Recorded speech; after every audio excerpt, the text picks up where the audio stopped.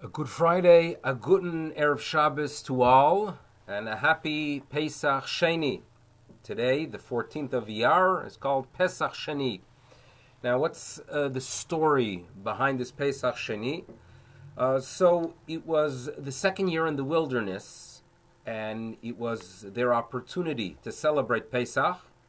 And the Torah tells us in Parashat Beha'alotcha that there were two individuals who were not able to perform the service and eat the sacrifice due to an impurity. So they come to Moshe Rabbeinu and they say, uh, Listen, you know, this is not fair. Why should we lose out from such a significant mitzvah? It is the mitzvah that really represents the inauguration into Judaism. Why should we lose out? And the Almighty communicates with Moshe and he says, You know what? They're right. There is an opportunity for Pesach Sheni, in other words, if you a person was not able to perform it on the 15th of Nisan, in other words, offering the sacrifice on the 14th in the afternoon of Nisan, and eating, eating it on the 15th, they could do it a month later. So therefore, the 14th of Iyar in the afternoon, that is when it would be processed and offered, the Korban Pesach, for those who were not able to do it on the first, and it's called Pesach Sheni. We, in this day and age, no longer have the ability to bring the sacrifice, uh, but nevertheless, the day is a significant day.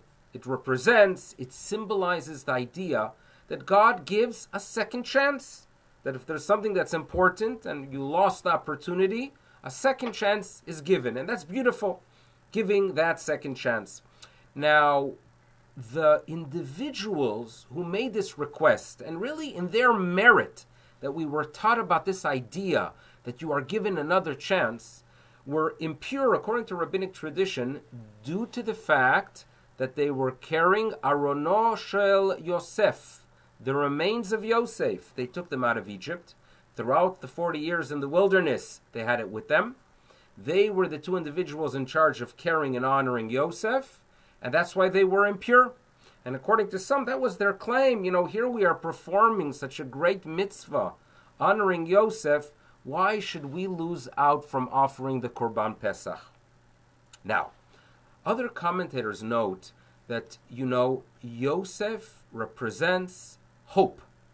Throughout the bitter exile in Egypt, they always remembered the words of Yosef. Hashem pakod yifkod etchem. The Almighty said that they will come that I'm going to remember you and I'm going to get you guys out of Egypt. And those words gave encouragement to the people of Israel during the most difficult times. So it is quite uh, fair and logical that those who honor the person of hope, those who carry the remains of Yosef, the person that symbolizes hope, that there are better days ahead of us, they are the ones that should be, right, should be given that merit of having a second chance and creating this law that gives a second chance for eternity. Right? This is what we are told. Giving hope is a merit, right? Giving support, giving encouragement is a zchut. Is a zchut that created this opportunity for Pesach Sheni. This is what we are told. And obviously, a very important uh, message during times that we are looking, you know, something hopeful, something optimistic, and this is a story that Pesach Sheni could inspire us.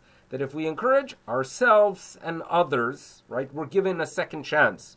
And I do deep down believe that this whole experience is about a second chance. It's a second chance that when things return to normal, we'll be very appreciative of what we have, the way we are supposed to be. And therefore, let's give chizuk, let's give hope to one another, let's act like Yosef, and remind people that there are better days ahead. We're going to get out of it. And by doing it, we're going to merit our own Pesach Sheni, that opportunity to go ahead and celebrate life and celebrate, celebrate the gifts of HaKadosh Baruch Hu and recognize Him. A message about the day itself. So happy Pesach Sheni to all. It should be a good Shabbos, a Shabbat Shalom, and all the best. Bye bye.